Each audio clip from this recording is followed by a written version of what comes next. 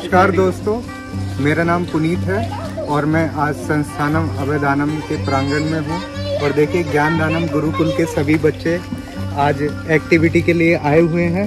हम waste material को use करते हुए आज पौधे लगा रहे हैं। ये देख सकते हैं आप, ये जो हम घरों में इस्तेमाल करते हैं, इस तरीके का ये एक डिटर्जेंट पाउडर का पॉलिथीन है। जो ये वेस्ट हो चुका था, हम इसको इस तरीके से ऐसे फाड़ के इसके अंदर मिट्टी रख के ये बच्चे, ये आप देख सकते हैं, जिस तरीके से ये इसमें मिट्टी डालनी है। फिर हम ये जो गुटलियाँ आम की गुटलियाँ होती हैं, उनको बची हुई, उनसे पौधे उगा के इस तरीके से पौधा उगा के ठीक है? और फिर उसको हम रीप्लांट करते हैं दूसरे पॉलिथीन्स में, और हाँ इसमें तो देख लीजिए। आइए आइए मैं आपको और दिखाता हूँ। अच्छा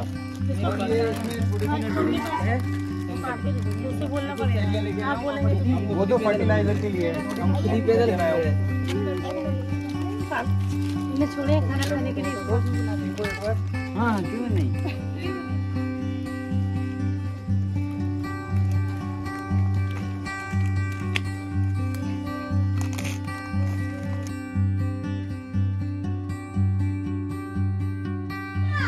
आज हमारे साथ जुड़े हैं विनोद सिरोही जी जो कि वीगन एक्टिविस्ट हैं और इन्वायरमेंट के लिए बहुत एक्टिव हैं काम करते हैं इसके लिए। विनोद सिरोही जी बच्चों को सिखा रहे हैं कि किस तरीके से प्लांट को लगाया जाता है और वेस्ट मटेरियल को यूज़ करते हुए हम रीप्लांट कर सकते हैं। छोटे छोटे पौधों से हम उनको दोबारा से आ, बड़े पौधे बनाने के लिए। लगा सकते हैं। अभी आप कुछ बोलिए बताइए हाँ जी। विनोद जी कुछ बताएँ? हमारे घर में जितनी प्लास्टिक आती है तो रीयूज तो कोई उसे करता नहीं है। उसे उठा के हम फेंक देते हैं तो अच्छा है कि एक बार एटलीस्ट हम हमसे यूज़ कर लें। और जब हम इसमें एक छोटा पेड़ लगाएँगे तो करीब एक साल में जाके वो इतना बड़ा हो जाएगा कि हम उसे कहीं भी रीप्लांट कर सकते हैं। तो जितनी हम प्लास्टिक वेस्ट कर रहे हैं एटलीस्ट हम उससे ज़्यादा ऑक्सीजन तो जनरेट कर रहे हैं ना। तो विनोद जी इनको कितना समय लगेगा अभी हमें रिप्लांट करने के लिए? आप मान लो कम से कम ये चार से छह महीने बाद ये पूरे हमारे तैयार हो जाएँगे। हम बाहर में कहीं भी प्लांट कर सकते हैं। कहीं पे भी प्लांट प्लांट कर सकते हैं। और फिर ये बड़े वृक्ष बन जाएँगे। करीब दो साल तक इनकी हमें केयर करनी होगी जहाँ भी हम लगाए। जी। दो साल तक केयर तो ज़रूरी साथियों आप देख सकते हो कितना अच्छा उपयोग है जो हम प्लास्टिक अपने कूड़े में फेंक देते हैं और जिनको स्ट्रे एनिमल्स जो कि गाय हमारे यहाँ पे काफ़ी हैं, देखने को मिलती हैं सड़कों पे। वो इन पॉलीथीन्स को खाती हैं और उनकी तबीयत खराब हो जाती है। और आज हमने उन्हीं पॉलीथीन्स को यूज़ करके एक तरीके से एक पौधा बनाया है। और इस पौधे को दो से तीन हफ़्ते तैयार होने में लगेंगे। और फिर उसके बाद हम इसको रिप्लांट कर सकते हैं और ये पेड़ बन जाएगा, जो कि ऑक्सीजन देगा। हमारे इन्वायरमेंट के लिए बहुत अच्छा है। तो आप भी हमारे साथ जुड़िए। जो हमारी ये मुहिम है, वो इन्वायरमेंट के लिए है। और जितना डिफॉरेस्टेशन आज की डेट में हो रहा है, पूरे भारत में, हम उसको रोकना चाहते हैं। हमारा प्रयास है, इन छोटे छोटे बच्चे आप देख सकते हैं। ये हमारे साथ ज्ञान दानम गुरुकुल के बच्चे हैं, जो कि हमारे साथ डेली एक्टिविटी में इसी तरीके की एक्टिविटी करते हैं। हम आ, इनको सिखाते हैं कि किस तरीके से कंपेशनेट होना है और प्लांट्स लगाने हैं हमें। कभी पौधों को नहीं प्लांट्स को हानि नहीं पहुंचानी है पेड़ नहीं काटने हैं। तो ये एक्टिविटी ये डेली सीखते हैं हमारे ज्ञान दानम गुरुकुल में।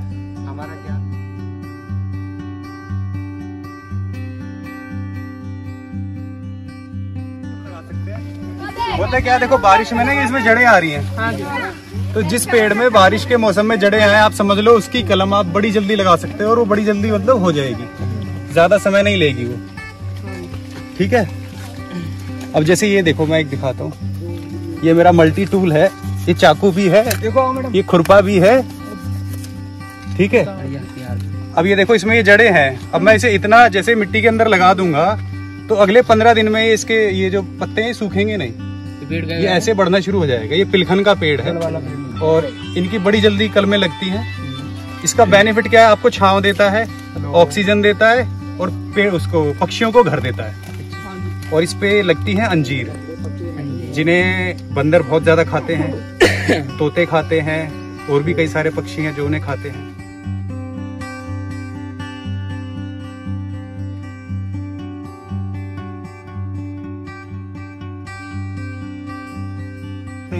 इसे काट।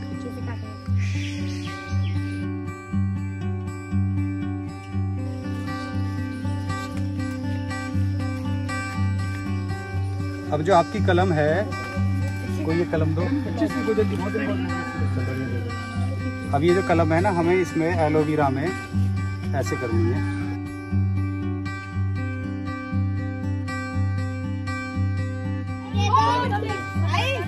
सारे थोड़ा दूर दूर हो जाओ। जिस जिसने लगा लिया एक तरफ़ जाओ। हाँ हमने लगा लिया लगा रहे हैं आप देख। आपको खोदना है थोड़ा सा।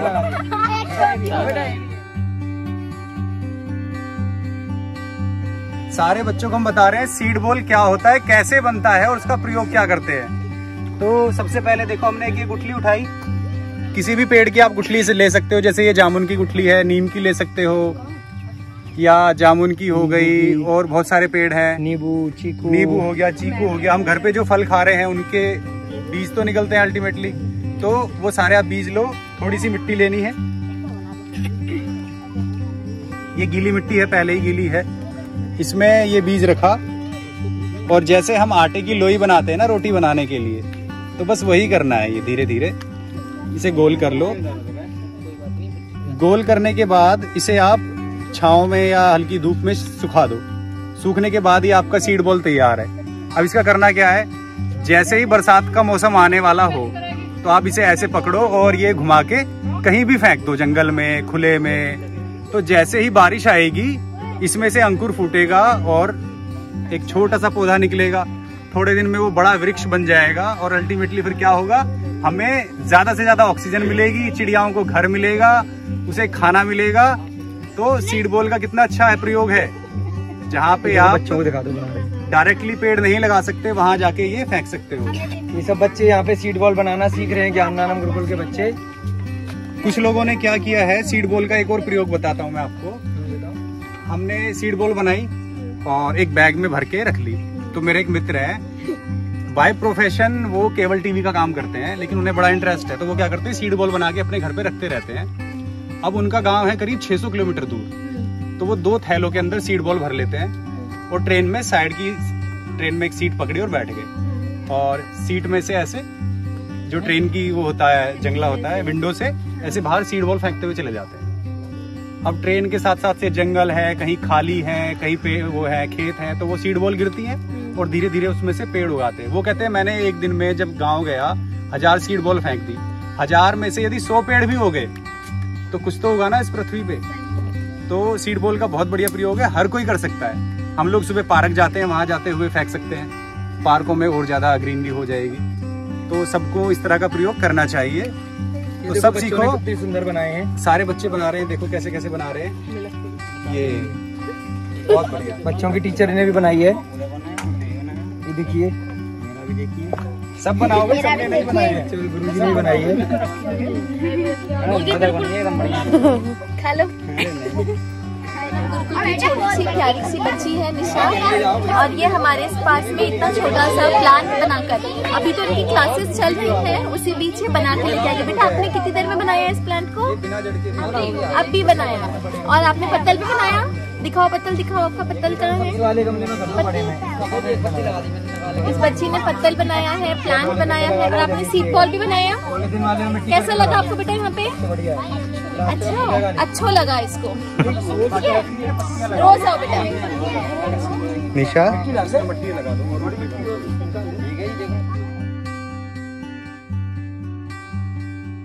टाइप की तो है नहीं अलग अलग तरह की है।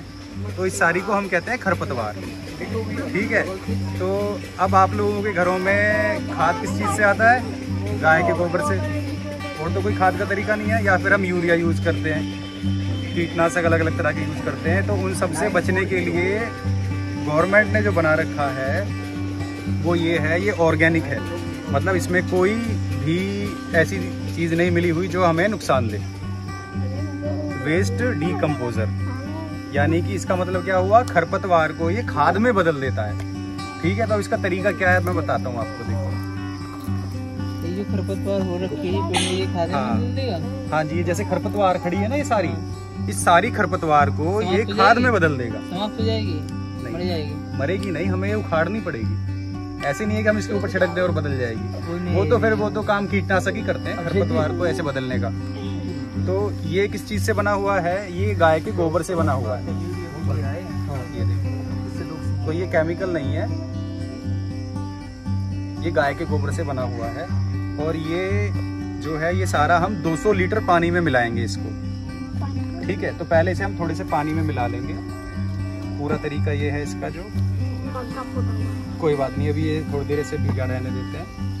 ये मिल जाएगा। अब इसमें दूसरी चीज़ क्या मिलानी है? दूसरी चीज़ हमें मिलानी है गुड़। और गुड़ क्या है ये? ये भी हमारा ऑर्गेनिक है। इसमें कोई पेस्टिसाइड मिला हुआ नहीं है। ठीक है?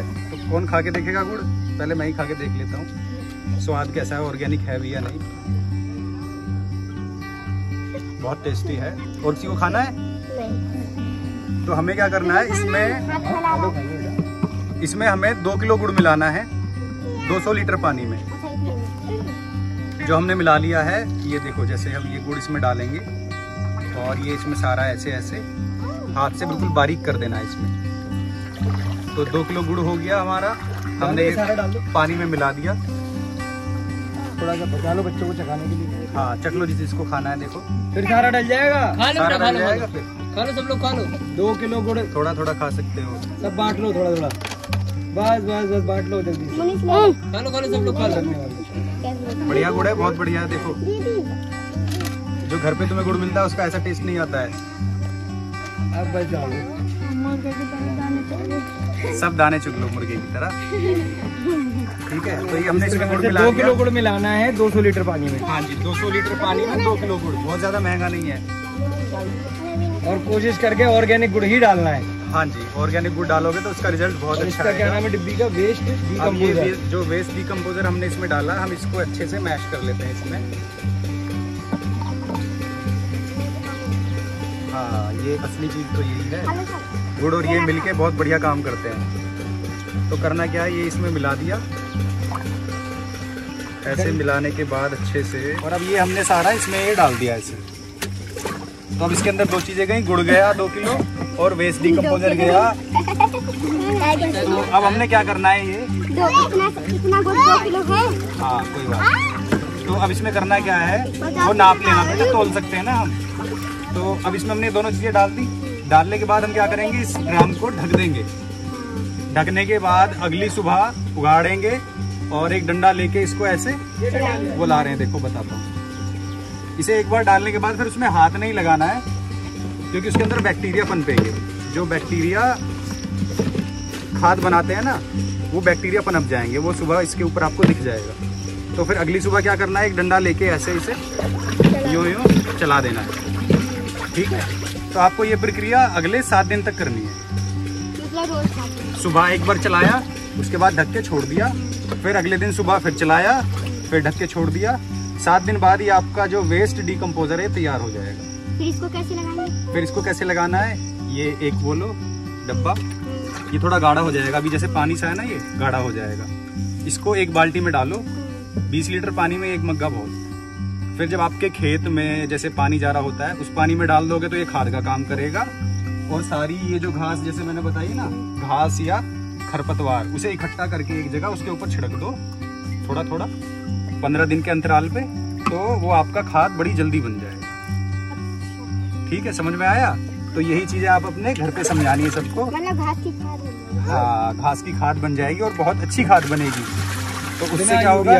बिना यूरिया के। आपको यूरिया की ज़रूरत नहीं पड़ेगी। इसी से आपका सारा काम चल जाएगा। समझ में आया?